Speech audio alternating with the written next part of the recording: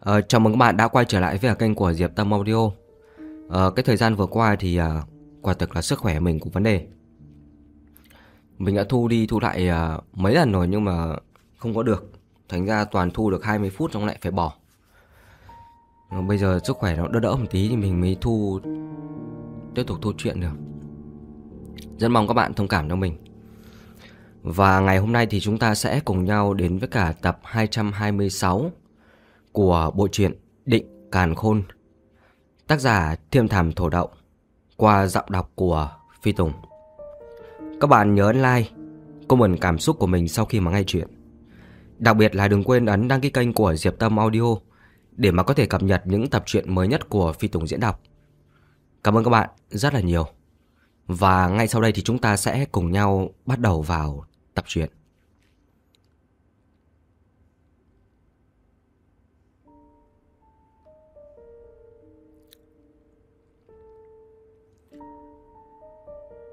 Và lúc này thì đám người đông nghịt dần lan rộng. Những lá cờ đỏ rực tỏa ra thứ sát khí kinh người. Hắc Vân cũng đang tụ lại như muốn đổ một trận mưa to. Ba người tâm thanh lập tức thu lại sự vui vẻ.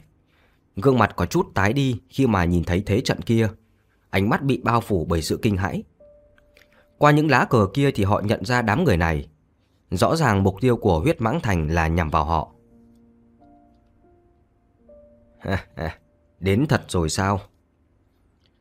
Khi mà ba người tâm thanh đang run rẩy thì Lâm Động bước ra, một nụ cười nhẹ nhàng hiện lên trên gương mặt. Lâm Động đại nhân, à, xin lỗi.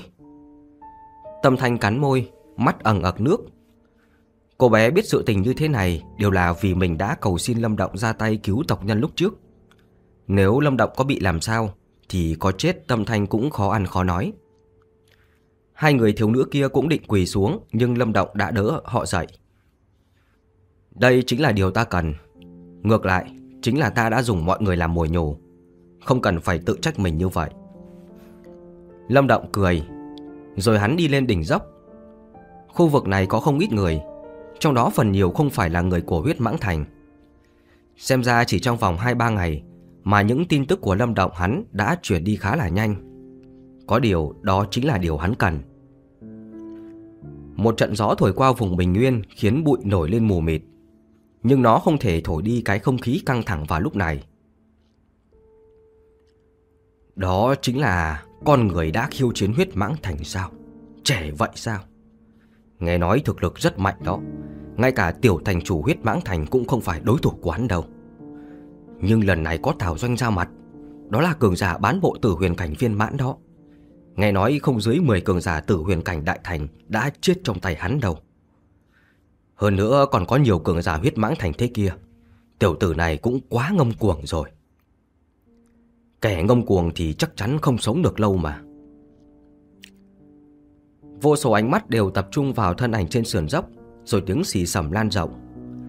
Chuyện liên quan đến Lâm Động gần đây đã lan rộng đến khắp cả khu vực này. Dù gì thì đã lâu lắm rồi, chưa ai thấy con người dám ngông cuồng tại thú chiến vực như vậy cả. Ngươi chính là Lâm Động, đã cướp người từ tay của huyết mãng thành sao? Nam tử mặc huyết bào ngồi trên vương tọa ngẩng đầu lên. Đôi mắt như rắn độc nhìn chằm chằm vào thân ảnh trên sườn dốc mà nói. Chắc ngươi là thành chủ huyết mãng thành chứ gì? Lâm Động nhìn thẳng vào hắn mà cười. Các ngươi đến muộn hơn ta nghĩ đấy. Huyết bào nam tử nghe vậy thì nhau mắt lại rồi à, nhếch mép cười. Ngươi biết huyết mãng thành ta sẽ đến sao? Lâm Động cười rồi khẽ tóm về phía hai thiếu nữ kiểu vĩ tộc. Thân thể họ khẽ run lên. Hai đạo huyết quang chui ra rồi biến thành hai con huyết xà to cỡ ngón tay. Trong cơ thể họ có thứ huyết mãng thành các ngươi để lại. Bọn ta đi đến đâu, đương nhiên đều không thể thoát khỏi cảm ứng của các ngươi được rồi. Lâm Động chơi đùa với cả hai con huyết mãng xà, rồi ánh mắt lạnh tanh, bóp nát chúng rồi ném đi. Thứ này mà muốn thoát khỏi cảm ứng của ta sao? Hai thiếu nữ cử vĩ tộc thấy vậy. Gương mặt vốn đã tái đi, nay lại càng trắng bệch. Chắc hẳn là họ cũng không biết là trong người mình lại có thứ đó. Huyết bảo nam tử nhìn con huyết mãng xà nổ tung trong tay Lâm Động. Nụ cười dần tắt. Hai tay đặt lên đầu gối. Người hơi ngả về phía trước. Đôi mắt bỗng chốc lạnh như băng. Vậy ý của ngươi chính là ngươi cố tình dụ ta ra sao? Lâm Động cười, không thừa nhận và cũng chẳng phủ nhận rồi nói. Các ngươi nhường đường đi. Cuối cùng thì huyết bào nam tử dự đứng dậy, cười khẩy. Tiểu tử, tuy rằng không biết ngươi từ đâu đến, nhưng khả năng ra vẻ ta đây cũng không tồi. Có điều... Nói đến đây, nguyên lực hùng hồn bùng phát ra từ cơ thể của hắn. Thanh thế vượt xa từ huyền cảnh đại thành. Thậm chí ngay cả đến hòa thần tử tu cũng kém một bậc. Hắn ta đã gần đến là tử huyền cảnh viên mãn. Muốn dọa tào doanh ta, tiểu tử ngươi còn non lắm. Bốn người các ngươi hôm nay đừng hòng chạy thoát. Lâm Động nhìn Tào Doanh với khí thế kinh người. Hắn cười rồi chậm chậm bước về phía đội quân huyết mãng thành. Theo từng bước chân của hắn thì nguyên lực hùng hồn dị thường trào dâng. Nếu vậy thì đánh một trận thôi. Lâm Động dừng lại nơi cách tàu Doanh độ nghìn trượng cười. Một trọi một hay tất cả cùng lên. Đại ca đại ca, tiểu tử này vô cùng giảo hoạt. Hay là chúng ta cùng ra tay giết hắn đi. Tào mãng ở bên cạnh Tào Doanh ánh mắt u tối nói. Không biết vì sao, hắn lại có cảm giác lâm động có thứ gì đó khiến hắn rất là bất an. Đương nhiên là ta biết hắn đang dùng kế khích tướng. Một con kiến thì có thể làm được gì. Tào Doanh cười. Yêu thú tộc vốn rất là hiếu chiến. Sức mạnh chính là thứ duy nhất chúng theo đuổi. Hơn nữa Tào Doanh lại là thủ lĩnh của cả một thế lực. Cũng có ngạo khí của riêng mình. Tuy nhiên nếu sự việc đến bước cuối cùng, hắn sẽ đặt thắng lợi lên trước thủ đoạn. Chỉ là lúc này hắn không cho rằng tiểu tử kia lại có thể lật ngược được tình thế. Đó là sự tự tin quán. Mà sự tự tin này là đến từ việc hắn đã giết 10 cường giả tử huyền cảnh đại thành trước kia. Tào Mã nghe vậy thì cũng không tiện nói gì thêm. Hắn cũng rất là tin tưởng vào Tào Doanh. Dù thế nào thì Tào Doanh cũng là gần là cường giả tử huyền cảnh viên mãn rồi. Tầng thứ này cũng là đỉnh cấp của thú chiến vực. Tuy rằng Lâm Động có chút kỳ quái, nhưng mà muốn đánh thắng được Tào Doanh thì hắn không tin lắm. Tào Doanh cười khẩy bước chân ra, huyết quang lấp lánh, rồi hắn lập tức xuất hiện phía trước của Lâm Động. Một cây huyết mâu hiện ra trong tay, hàn quang lóe lên trên lưỡi mâu. Lâm Động cũng chậm chậm siết tay lại, từng sợi lôi quang tụ lại trong lòng bàn tay hắn, rồi lan tỏa ra biến thành một cây lôi trượng thấp thoáng còn à, có tiếng Ờ, sấm rền khắp nơi. Trên bình nguyên thì mọi ánh mắt đều nhìn về phía hai thân ảnh trên không trung. Họ đều rất muốn biết rốt cuộc là con người khá là ngông nghênh ở thiến tru, à, ờ, thú chiến vực này rốt cuộc có bản lĩnh hay chỉ là ra vẻ dọa người khác. Ở yêu vực này, tất cả đều sùng bái sức mạnh. Dù là con người hay yêu thú, chỉ cần có sức mạnh là được người khác kính sợ. Nhưng nếu chỉ là cáo mượn oai hùm thì chắc chắn không thể sinh tồn tại nơi đây. Trên sườn dốc thì ba người tâm thanh đều căng thẳng quan sát. Hai thiếu nữ của kiểu vĩ tộc gương mặt đầy vẻ lo lắng và bất an, dường như sắp khóc đến nơi. À, tâm thanh à, đó là Tào Doanh đấy, là thành chủ của huyết mãng thành đấy. Nghe nói, hắn sắp thành tử huyền cảnh viên mãn rồi. Một thiếu nữ nhỏ giọng mà nói. Cảnh giới từ huyền cảnh viên mãn trong mắt họ là quá xa vời. Nghĩ đến trong kiểu vĩ tộc bọn họ, mạnh nhất cũng chỉ là từ huyền cảnh tiểu thành, còn cách từ huyền cảnh viên mãn quá xa. Tuy họ đã nghe được những chuyện không tầm thường từ Lâm Động, nhưng rõ ràng không thể một chốc một nhát là đánh đổ được ấn tượng về sự hung tàn của Tào Doanh trong bao nhiêu năm nay họ biết. Yên tâm đi, Lâm Động đại nhân từng đánh bại cường giả chuyển luân cảnh. Tuy ở đây nhiều người, nhưng Tào Doanh còn lâu với bằng cường giả chuyển luân cảnh được. Tâm Thanh tuy có lo lắng nhưng rõ ràng không thể để lộ ra điều đó vào lúc này, vì thế lên tiếng an ủi. Cái, cái, cái, cái, cái gì cơ? Từng chiến đấu với cường giả chuyển luân cảnh sao? Hai thiếu nữ kia giật thoát mình. Chỉ riêng cường giả gần tử huyền cảnh viên mãn như Tào Doanh với họ cũng đã là vô địch. Cái gọi là cường giả chuyển luân cảnh gần như là nhân vật trong truyền thuyết rồi. Ở yêu vực này đó chính là bá chủ một phương. Vậy mà giờ Tâm Thanh lại nói, thanh niên mới nhìn hơn 20 tuổi kia từng đánh bại cường giả chuyển luân cảnh. Dù là dựa vào sức của nhiều người thì cũng quá là khủng bố. Lâm Động Đại Nhân lợi hại như vậy thật sao? Cuối cùng thì hai thiếu nữ kia cũng bất sợ hãi hơn. Ánh mắt nhìn lên thân ảnh đang cầm lôi trượng với niềm hy vọng. Có lẽ hắn đã có thể phá vỡ được cục diện thập tử nhất sinh vào lúc này. Trên bầu trời thì Lâm Động à, không hề để tâm tới những ánh mắt nhìn mình. Hắn chỉ điềm nhiên nhìn Tào Doanh ở trước mặt. Một lúc sau hắn nhếch môi, đôi mắt tràn ngập sát ý. Trận đấu này bắt đầu thôi. Tiểu viêm, ta sẽ đến tìm ngươi đây. Gió thổi qua bình nguyên, mây đen trên bầu trời quần quật bao phủ cả đất trời. Phía dưới những tầng mây đen là hai thân ảnh đang đứng đối diện với nhau. Ánh mắt cả hai đều sắc lạnh như đao. Chưa từng có kẻ nào cướp người khỏi tay huyết mãng thành mà chưa phải trả giá. Tào Doanh chậm chậm dơ huyết mâu lên chĩa về phía Lâm Động. Trong đôi mắt tam giác là một sự hung tàn trào dâng. Ngay sau đó bùng phát như núi lửa phun trào. Ngươi cũng không phải ngoại lệ.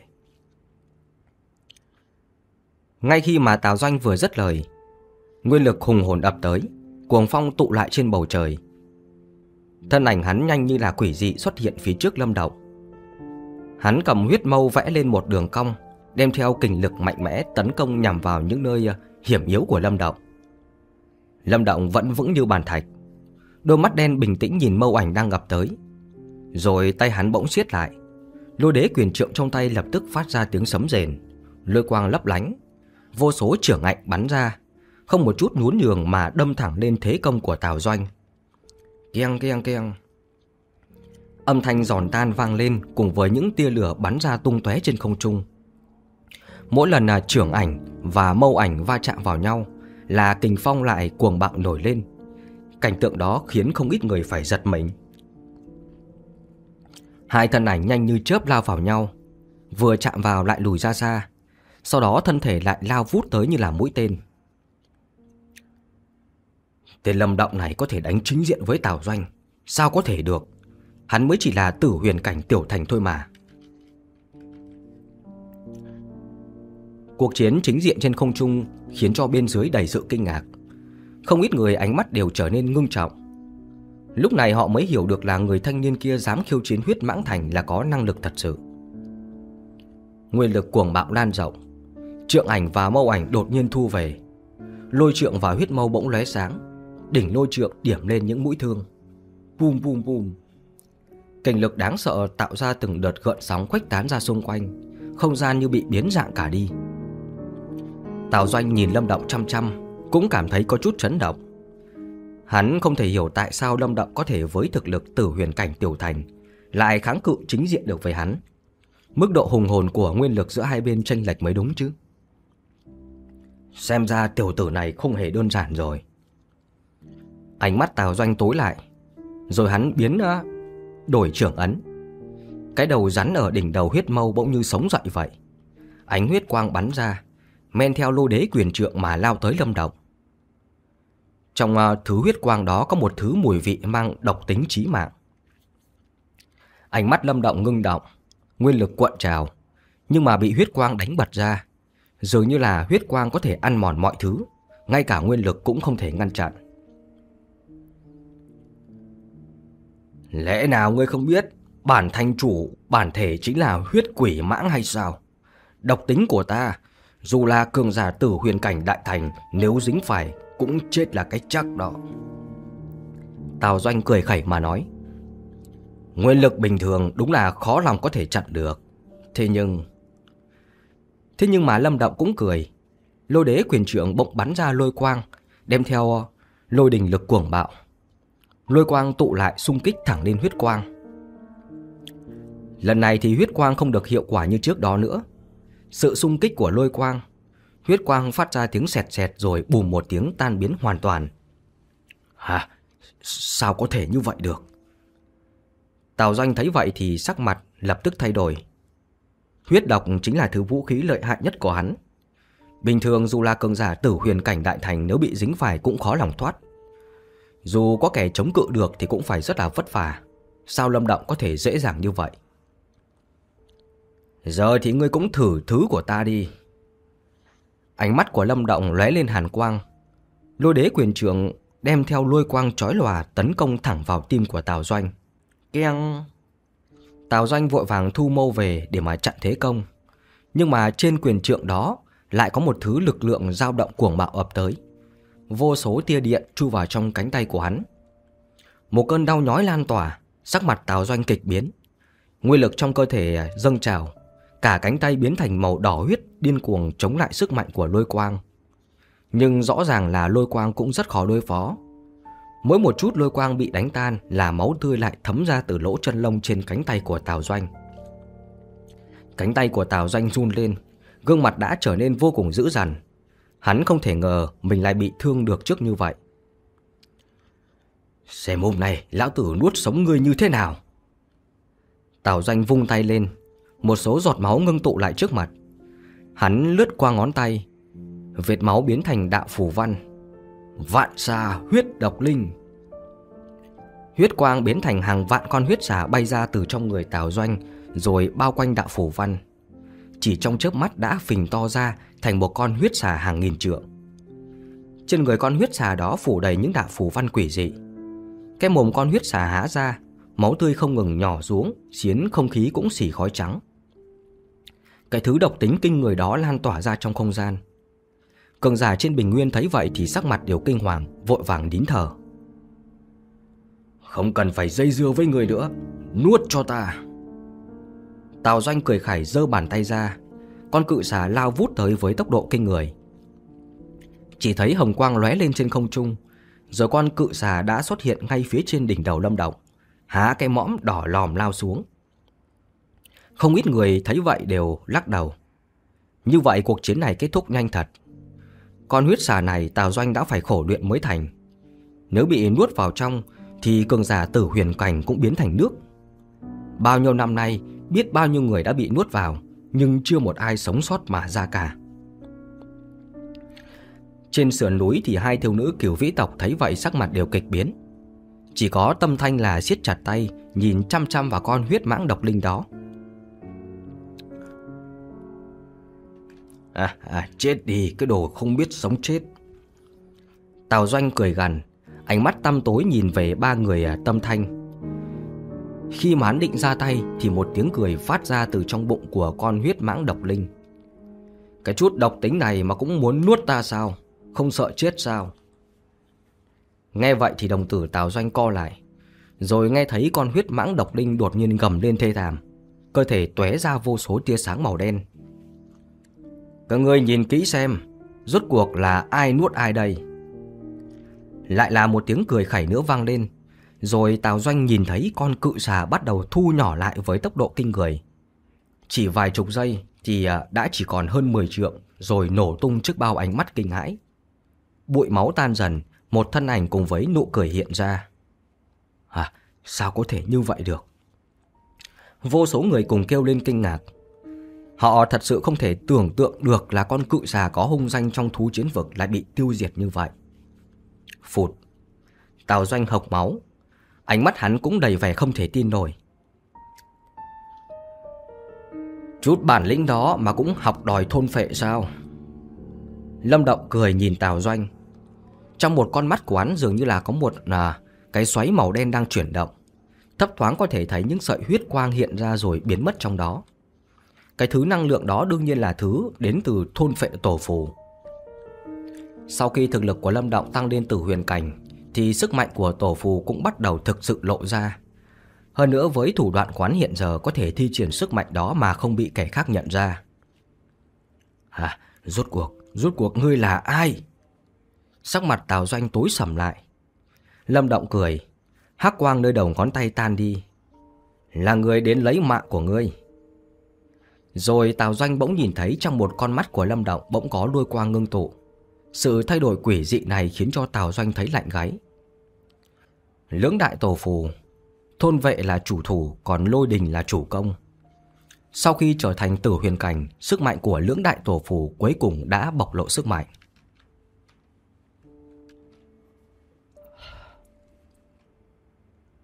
Huỳnh huỳnh Lôi quang lấp lánh Nhanh chóng tụ lại trong một con mắt của Lâm Động Đồng thời, hắc vân trên đỉnh đầu hắn vào lúc này dường như cũng đang vang vọng tiếng sấm rền. Tào Doanh vải mặt đầy sự kinh dị nhìn mọi thứ xảy ra, Trong lòng dấy lên một cảm giác bất an. Hắn nghiến răng, Nếu thua một tên tiểu tử Tử huyền cảnh tiểu thành trước mặt bao nhiêu người thế này, Thì sau này hắn sao đứng vững được ở thú chiến vực nữa? Hôm nay bất luận thế nào, Hắn cũng phải giết tên tiểu tử này mới được. Cổ họng của Tào Doanh vọng ra một tiếng gầm trầm đục. Huyết quang bắn ra từ trong cơ thể. Thân thể hắn nhanh chóng phình to lên. Rắc rắc, Huyết quang loan tỏa, Huyết ảnh quần quẩn Âm thanh chói lòa cùng mùi máu thanh Nồng nàn tỏa ra khắp cả không gian. Tào Doanh biến thành một con cự mãng đỏ rực to hàng nghìn trượng. Thân thể hắn có một số mảng đen, Đôi cánh khổng lồ giang ra, Từ xa nhìn giống như là phi long vậy. Những tấm vảy màu huyết sắc phủ đầy trên người cự mãng, Đôi mắt đỏ quạch hung tàn nhìn Lâm Động. Hả? Bản thể yêu thú sao? Lâm Động nheo mắt lại. Đương nhiên hắn biết là yêu thú một khi biến thành bản thể Thì sức mạnh sẽ tăng đến mức cao nhất. Đó cũng là dấu hiệu cho thấy chúng sắp liều mạng. Rõ ràng là Tào Doanh đã bất mãn với kiểu đấu rằng co này. Hắn muốn kết thúc nhanh chóng. Có điều, đó không phải chuyện dễ dàng đối với cả Lâm Động. Lúc này lôi đình ngày một nhiều trong mắt của Lâm Động Trên bầu trời thì Hắc Vân cũng điên cuồng hội tụ, Sắc trời tối sầm lại. Trong những tầng mây đen là vô số đường sấm sét bắn qua lại. Nhiều cường giả bắt đầu nhận ra dị tượng trong đó, Ánh mắt có phần kinh dị nhìn lên đám Hắc Vân, Bởi vì họ cảm nhận được một luồng năng lượng vô cùng bí ẩn mà cuồng bạo. Quỷ hồn thuật. Con à, cự mãng biến ra từ tàu doanh, Bỗng nhiên phát ra tiếng nói, Huyết quang đầy trời. Trên người nó mọc ra vô số chiếc gai nhọn hoắt. Trên à, trán của nó trồi lên một cái sừng rồng, Khí tức cự mãng bùng nổ, phảng phất dường như muốn tỏa ra thứ áp lực của long tộc. Uinh uinh Huyết quang bùng nổ, Một đạo huyết quang bắn lên, Một con huyết long mang theo sát khí lộ ra. Những nơi nó lướt qua thì không khí cũng bị biến dạng. Không hề có chiêu thức dườm già nào, chỉ là một cú va chạm đơn giản. Nhưng dưới sức mạnh đó thì cả ngọn núi có thể nổ tung.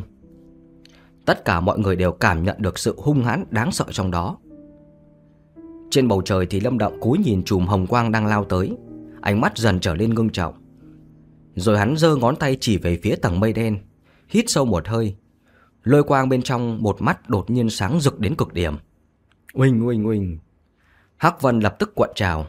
Vô số lôi quang tụ lại ở giữa tầng mây. Rồi đám mây tan vỡ. Một bàn tay lôi đình to hàng nghìn trượng xuất hiện trước vô số ánh mắt kinh hoàng.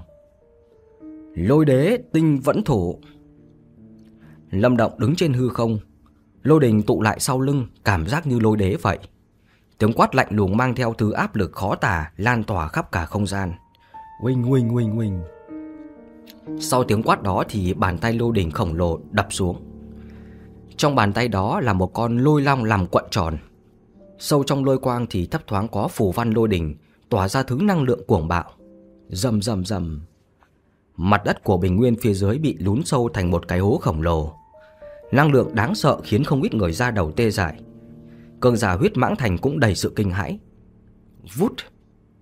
Lôi quang và huyết quang bay qua bầu trời từ hai góc độ khác nhau và cuối cùng là đâm sầm vào nhau trước bao ánh mắt chấn động. Uinh uinh uinh uinh uinh uinh. Âm thanh kinh thiên động địa gần như là truyền đi cả vạn dặm. Ánh sáng chói lòa lan tỏa khắp cả không gian, thậm chí còn sáng chói hơn cả vầng mặt trời.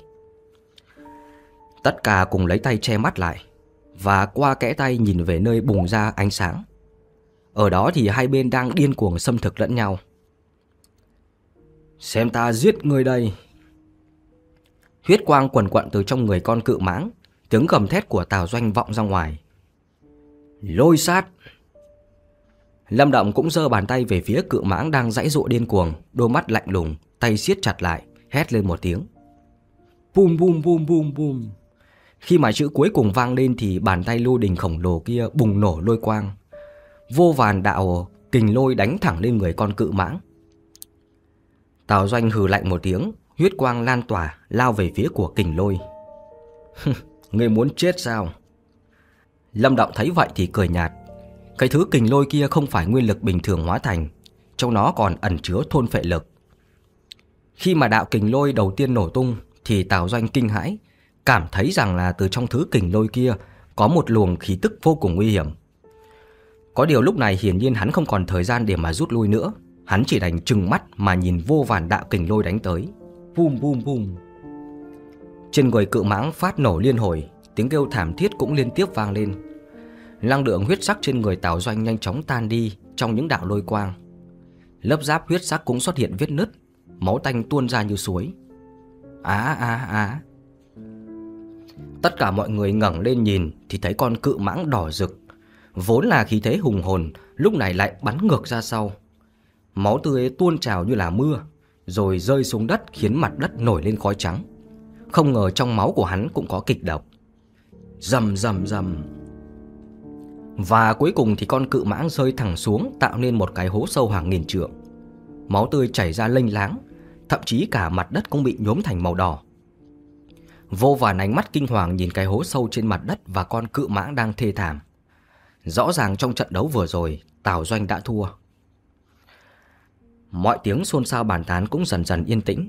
Thế lực các phương nhìn kết quả này với vẻ mặt phức tạp, rồi ngẩng lên, ánh mắt đầy vẻ nặng nề, nhìn thân ảnh trẻ tuổi kia.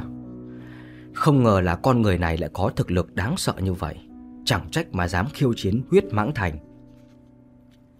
Cường già huyết mãng thành sắc mặt tái đi, đặc biệt là Tào Mãng. Hắn không thể tin nổi Tào Doanh lại thua trong tay một tên tiểu tử tử huyền cảnh tiểu thành như vậy.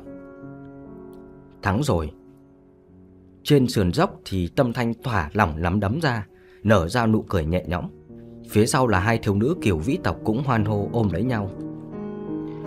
Trên không trung thì Lâm Động nhìn Bình Nguyên lúc này đã tĩnh lặng, lôi quang trong mắt dần dần tan đi. Thân hình khẽ động rồi xuất hiện trong cái hố khổng lồ. Chỉ lô đế quyền trượng vào giữa trán của Tào Doanh lúc này đã biến thành hình người. Tào Doanh người bê bét máu, vết thương phủ đầy người, khí tức yếu ớt đến cực điểm. Hắn ngẩng lên thấy Lâm Động đang lạnh lùng chỉ lô đế quyền trượng vào chán mình, Thì cuối cùng trong mắt cũng hiện lên một sự sợ hãi. Hắn có thể nhận ra thứ sát ý lạnh lùng trong mắt của Lâm Động Khi thế đó chỉ những kẻ đã trải qua những trận chiến đậm máu mới có. Hắn không nghi ngờ về việc cách quyền trượng trong tay của Lâm Động Sẽ giáng xuống khiến đầu hắn nát thành tương. Thành chủ đại nhân, Ngươi thua rồi. Lâm Động nhìn Tào Doanh lúc này không dám động đậy gì, Dần nở ra nụ cười khẽ nói. Gương mặt Tào Doanh biến dạng, Hắn nghiến răng mà nói, Dù ngươi thắng, Nhưng người của huyết mãng thành nhiều như vậy, Ngươi địch lại được sao? Phải giết nhiều người như vậy đúng là hơi phiền phức. Có điều tin ta đi, Nếu ta muốn thì các ngươi không giữ được đâu. Lâm Động cười lạnh lùng nhìn đám huyết mãng thành. Hơn nữa Trước khi đi, có lẽ ta có thể giết được một nửa số cường giả trong số các người đó. Khóe miệng Tào Doanh co giật. Nếu là trước khi Lâm Động ra tay, có lẽ hắn sẽ phì cười. Nhưng lúc này hắn không thể làm như vậy. Hiện giờ hắn đã trọng thương, rõ ràng không thể chặn được Lâm Động được. Để bắt hai người của kiểu vĩ tộc, thì đâu cần phải tổn thất nhiều như vậy. Chuyện hôm nay kết thúc ở đây. Thế nào, Tào Doanh thành chủ? Lâm Động cười. Lời nói của hắn khiến không ít người nhướng mày. Hắn đang ép Tào Doanh nhượng bộ. Ngươi, Tào Doanh nghiến răng. Sao? Có hai lựa chọn. Mỗi bên lùi một bước. Hay là để ta giết người. Giết một nửa số cường giả huyết mãng thành. Sau đó đưa người đi. Nụ cười của Lâm Động trong mắt Tào Doanh lại tràn ngập hàn ý. Hắn biết rằng là Lâm Động có khả năng làm việc đó. Sắc mặt của Tào Doanh biến đổi một lúc và cuối cùng là nghiến răng gật đầu. Được, lần này huyết mãng thành ta nhận thua.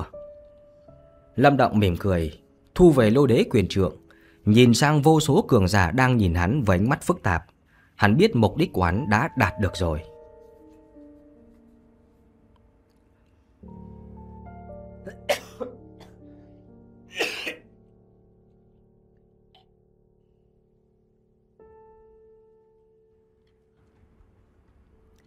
Trên bình nguyên đổ nát. Vô số ánh mắt kinh ngạc và ngưng trọng nhìn Lâm Động chậm chậm dịch cây quyền trượng khỏi chán Tào Doanh. Rồi vẻ mặt bình thản nhìn xung quanh, sau đó quay người rời đi. Mãi một lúc sau, những tiếng xôn xao không kìm được mà lan tỏa. Trận chiến vừa rồi đã có kết quả, mà kết quả này lại vượt qua ngoài dự liệu của tất cả mọi người. Ban đầu chẳng ai nghĩ Lâm Động lại có thể thắng Tào Doanh, bởi vì dù sao hắn cũng chỉ là một tiểu tử, con người vừa mới xuất hiện. Còn Tào Doanh đã là cường giả nổi danh lâu năm ở đó. Thực lực bán bổ từ huyền cảnh viên mãn đủ khiến hắn coi thường tất cả nhiều người. Thế nhưng mà kết quả cuối cùng đã khiến tất cả vô cùng chấn động. Lâm Động không chỉ đánh bại Tào Doanh mà còn uy hiếp một cách bá đạo trước mặt nhiều cường giả như vậy. Mà sự uy hiếp đó còn có được hiệu quả hắn cần nữa. Hắn, hắn là Lâm Động sao? Đúng là nhân vật lợi hại. Không ít người chép miệng. Chắc hẳn sau này cái tên đó sẽ nhanh chóng lan truyền. Nhưng mà cũng có người thầm lắc đầu. Thú chiến vực vốn đã hỗn loạn. Lâm Động lại ngông cuồng như vậy rồi sẽ gây nên phiền phức không nhỏ. Lần này là Tào Doanh, lần sau sẽ có kẻ đáng gờm hơn nữa. Quay trở lại thì Tào Mãng và một vài tên cường giả huyết mãng thành khác vội vàng tới bên cạnh Tào Doanh. Sắc mặt chúng tối sầm nhìn Lâm Động rời đi, rồi nghiến răng. Đại ca, cứ tha cho tên tiểu tử đó như vậy sao? Chúng ta người đông thế mạnh, thủ đoạn hắn có nhiều như thế nào, chúng ta cũng đối phó được. Tào Doanh lắc đầu không cam tâm bà nói. Tên tiểu tử đó rất cổ quái. Hôm nay nhờ dù số đông mà giữ hắn được, nhưng mà cũng sẽ tử thương nghiêm trọng. Để lúc đó, nếu các thế lực khác nhằm vào chúng ta mà ra tay, Thì có lẽ huyết mãng thành sẽ không thể phục hồi được đâu. Nhưng mà cái chuyện này mà lan truyền ra, Thì không phải danh tiếng huyết mãng thành sẽ tổn hại sao? Tào mãng nói. Vậy danh tiếng quan trọng hay mạng sống quan trọng hơn? Tào doanh quát rồi ánh mắt lạnh như băng. Món nợ này phải ghi nhớ, Sau này có cơ hội thì động thủ sau. Tào Mãng cũng chỉ đành gật đầu. Hơn nữa hắn cũng biết Tào Doanh đã trọng thương.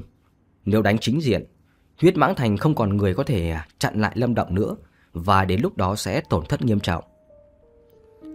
Giờ huyết mãng thành chỉ còn cách là nuốt cơn giận này vào bụng mà thôi. Đi thôi. Lâm Động lúc này trở về sườn dốc, đón tiếp hắn là ba ánh mắt sùng bái và cuồng nhiệt. Hắn lắc đầu rồi vẫy tay. Ừ, Ba người tâm thanh cùng gật đầu ngoan ngoãn. Lâm Động thấy vậy cũng không nói thêm gì. Mục đích hôm nay của hắn đã đạt được, Ở lại thêm cũng chẳng ích gì. Vậy là hắn biến thành hồng quang bay đi. Theo sau là ba người tâm thanh. Bốn người họ nhanh chóng biến mất khỏi tầm mắt của mọi người.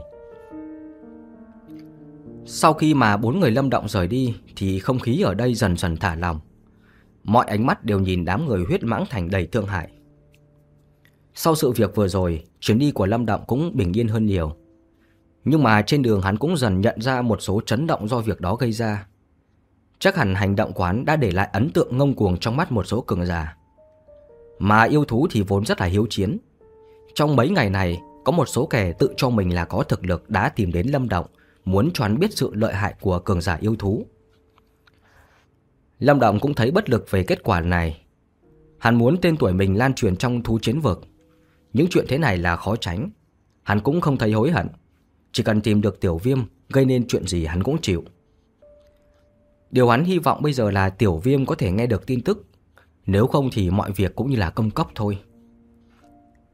Cuối cùng thì bốn người họ đã đến gần với kiều vĩ tộc. Lâm động đại nhân, Còn khoảng nửa giờ nữa là chúng ta đến kiều vĩ tộc rồi.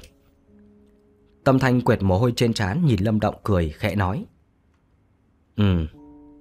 Lâm Động gật đầu, quét mắt ra xung quanh. Cái vùng hoang nguyên đỏ rực để lại sau lưng. Khu vực này rõ ràng là rậm rạp xanh mướt tràn đầy sức sống hơn hẳn. Ở đây có thể coi là nơi giáp danh của Lôi Uyên Sơn và Bách Thú Lĩnh rồi. Ở đây không hỗn loạn như vùng hoang nguyên kia đâu. Vì ở đây thuộc về địa bàn của Lôi Uyên Sơn và Bách Thú Lĩnh. Tâm Thanh cố gắng cho Lâm Động biết nhiều hơn về thông tin của thú chiến vực. Vậy huyết mãng thành và hai đại thế lực đó có khoảng cách lớn không? Lâm Động nói Huyết mãng thành căn bản không thể so sánh được với cả hai đệ đại thế lực đó đâu. Không nói đến việc thủ lĩnh của chúng đều thuộc bát đại yêu xoáy của thú chiến vực, mà bên dưới chúng cũng có vô số cường giả. Hai thế lực này đều có kiểu đại mãnh tướng, bất cứ ai trong 9 người đều không thua kém thành chủ huyết mãng thành đâu. Về mặt tâm thanh ngưng trọng mà nói. Lâm Động nghe vậy ánh mắt có phần nặng nề hơn. Xem ra Lôi Uyên Sơn và Bách Thú Lĩnh quả nhiên cường hãn. Chỉ 9 đại tướng dưới trướng thôi mà cũng đạt đến mức của Tào Doanh. Chẳng trách mà trở thành một trong những thế lực mạnh nhất ở thú chiến vực. Mà nghe nói hai vị yêu soái của Lôi Uyên Sơn và Bách Thú Lĩnh đều có thể xung kích chuyển luân cảnh. Nếu thành công thì không chỉ đạt đến cấp bậc cao nhất của thú chiến vực, mày Nga ngay cả yêu vực cũng trở thành cường hào một phương đó. Lâm Động gật đầu. Tuy rằng tử huyền cảnh viên mãn cách chuyển luân cảnh một bước, nhưng một bước này đủ để chôn vùi vô số niềm kiêu hãnh của trời đất. Chỉ khi vượt qua được thì mới trở thành siêu cấp cường giả thật sự và có tư cách theo đuổi luân hồi. Xem ra hai thế lực kia quả nhiên rất là ngang ngược. Trong khi mà nói chuyện với cả Tâm Thanh thì nửa tiếng nhanh chóng qua đi, tầm mắt phía trước cũng rộng lớn hơn. Ở phía xa là một ngọn núi đang lơ lửng trên không, xung quanh là vực sâu thăm thẳm. Chỉ à, có rất nhiều sợi xích sắt thả xuống từ đỉnh núi, hình thành thông đạo liên kết với thế giới bên ngoài. Trên đỉnh núi là một trận pháp khổng lồ bao phủ cả đỉnh núi. Lâm Động có thể thấy trong đó có không ít những công trình kiến trúc đứng sừng sững.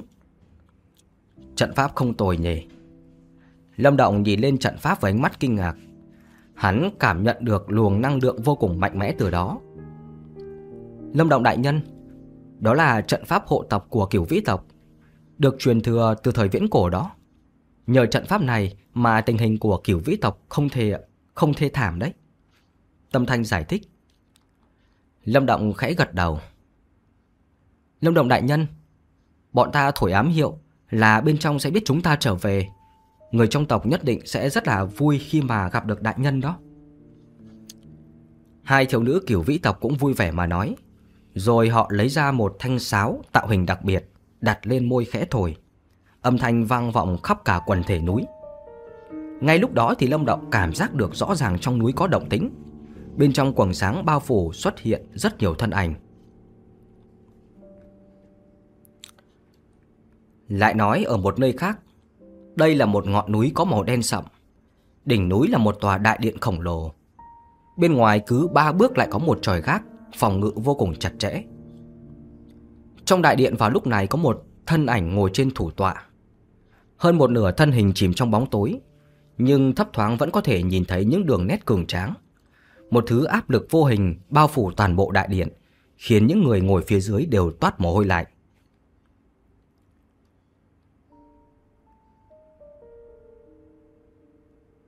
Viêm tướng đại nhân, trong vòng ban kính nghìn dặm quanh núi Tây Bắc, mọi thế lực đều đã bị quét sạch. Trận chiến lần này, đại nhân mở rộng được uy vọng. Chắc hẳn là những đại nhân khác không thể so sánh được với cả đại nhân đâu. Thân hình to lớn trong bóng tối nghe thấy sự tân bốc như vậy thì cũng không chút phản ứng. Dường như là người bên dưới cũng đã quen với điều này, cười cười rồi nói. À, ngoài ra tiểu nhân còn nhận được một tin tức chắc hẳn là đại nhân sẽ thấy rất hứng thú. Nói đi. Giọng nói ồm ồm như sấm vang lên. Đại nhân vẫn rất là quan tâm đến con người có mặt tại thú chiến vực.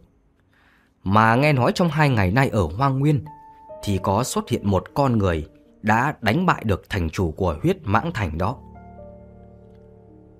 Thân ảnh kia hơi cúi đầu, đôi mắt đỏ, thẫm, lóe lên hung quang. Hắn tên là gì? Ờ, người bên dưới nhíu mày nghĩ rồi nói, hình như, hình như là Lâm, Lâm Động thì phải. Ngay khi vừa dứt lời thì sắc mặt hắn kịch biến, một thứ sát khí đáng sợ điên cuồng ngưng tụ, rồi một bóng đen bao trùm lấy hắn. Thân ảnh kia hiện ra, một bàn tay to lớn đầy sẹo nhấc hắn lên. Người đó kinh hãi nhìn nam tử to lớn trước nay vẫn lãnh đạm với mọi việc. Hiển nhiên không hiểu tại sao tự nhiên lại phản ứng mạnh như vậy Hắn, hắn ở đâu? Tiếng quát tựa như là sấm nổ khiến hắn hoa mày chóng mặt Nhưng hắn biết tính của kẻ trước mặt liền vội vàng mà nói Hắn, hắn ở cùng với người của kiểu vĩ tộc. Nếu tiểu nhân đoán không nhầm, thì có lẽ hắn đến ờ, kiểu vĩ trại đó. Ngoài ra, đại nhân, vì trước đó hắn có biểu hiện ngông nghênh như vậy, nên ờ, có không ít kẻ đang tìm hắn gây rắc rối. Thậm chí đến uh, Sơn Tướng Đại Nhân cũng định tìm hắn đó. Hả? Sơn Tướng sao? Đôi mắt của nam tử kia dường như là tụ hung quang, rồi hắn ném kẻ trong tay đi, giọng nói vang rền khắp đại điện. Tất cả chuẩn bị rời đi. Ngươi sai người nói với cả tên tạp trùng Mông Sơn rằng nếu dám động đến nửa cọng lông của người đó thì lão tử sẽ giết cả tộc hắn. Người kia kinh hãi quá, liền vội vàng gật đầu rồi nhanh chóng rời khỏi đại điện. Người ngựa trên núi cũng bận rộn chuẩn bị thu dọn lên đường. Nam tử kia chậm chậm bước ra, ánh nắng chiếu xuống gương mặt đầy sẹo của hắn. Vị tuyệt thế hung tướng, tay nhuốm máu vô số ở thú chiến vực này nhìn lên bầu trời phương Bắc. Đôi mắt hổ vốn bị máu tươi, khiến cho lạnh lùng, nay bỗng trở nên dịu dàng, khóe miệng giật giật. Gương mặt hung dữ nở ra nụ cười hiền hậu đã lâu không xuất hiện. Đại ca, cuối cùng đệ cũng đợi được huynh rồi. Rồi ok, chúng ta sẽ kết thúc tập 226 tại đây. À, chút nữa thì mình cũng sẽ ra tập 227. À, các bạn nhớ like và comment cảm xúc của mình sau khi mà nghe chuyện. Đặc biệt là đừng quên ấn đăng ký kênh của Diệp Tâm Audio và hết sức là thông cảm cho mình. Thời gian gần đây mình không đọc đều được. À, một lần nữa cảm ơn mọi người rất là nhiều.